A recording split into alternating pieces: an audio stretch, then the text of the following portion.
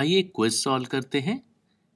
Two charges 10 microcoulomb and minus ten microcoulomb are placed at point A and B separated by a distance of ten centimetres find the electric field at a point P on the perpendicular bisector of A B at a distance of 12 centimetres from its middle point A और B दो point हैं, उनका distance 10 centimetre है।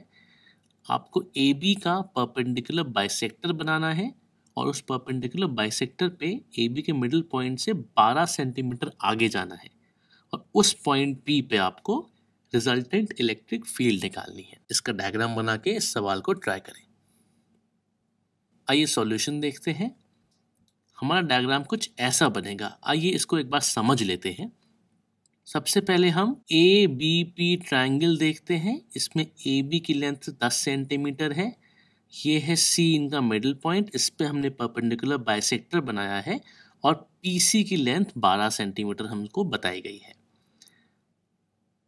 सबसे पहले हम A P और B P length निकालते हैं क्योंकि हमको पी पॉइंट पे इन दोनों चार्जेस से इलेक्ट्रिक फ़ील्ड निकालनी है। तो पी पॉइंट का हमको दोनों चार्जेस से डिस्टेंस चाहिए होगा।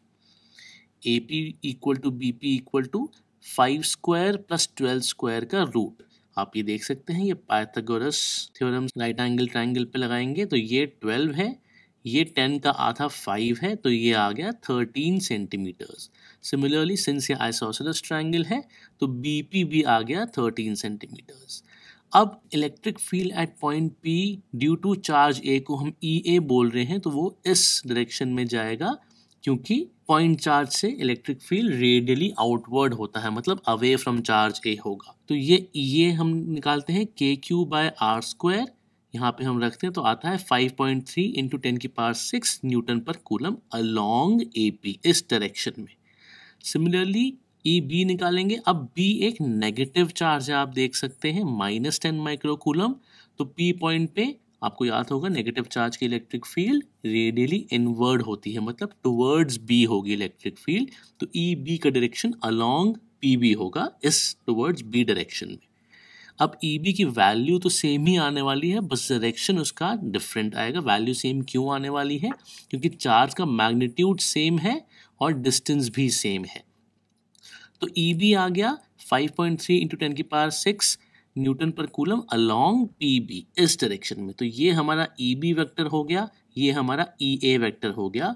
हमको अब निकालना है इसका रिजल्टेंट ई वर्टिकल अब पॉइंट पी पे आपको दो वेक्टर्स दिख रहे हैं, इनका सम करना है तो हम इनको वर्टिकल और हॉरिजॉन्टल डायरेक्शन में तोड़ लेंगे। ई वर्टिकल ई ए का sine theta minus E B का साइन थीटा क्यों?